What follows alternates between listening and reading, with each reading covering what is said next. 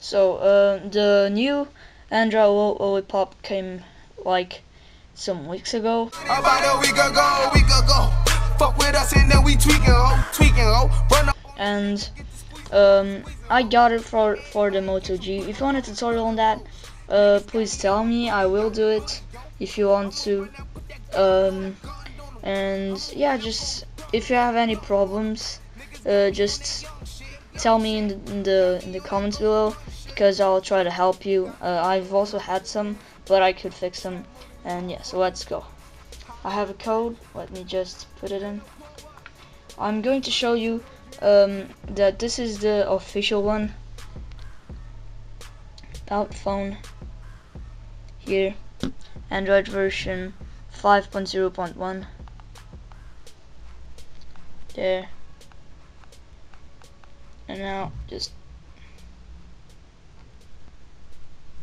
It has like a Flappy Bird with Android, really cool. Just check this out, cool. So, um, the main thing I noticed is this thing, which is really cool. The notification bar, which you just see this thing, and then the brightness and all of everything.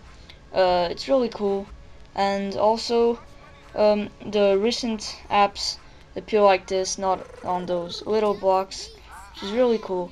And yeah if you want um, I'll I'll I'll go to, to, the computer and show you actually how to install it.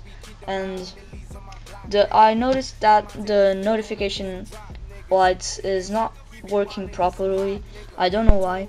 And you can also change the wallpapers which is cool and they're different from the Moto G ones original ones. You have all these choices.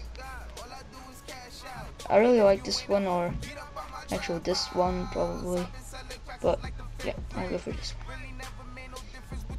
And so just say in the comments if you want to have this um, this uh, Android on your phone. So yeah I hope you like this video. Uh, see you next time and yeah have a good one Let all of my dogs out.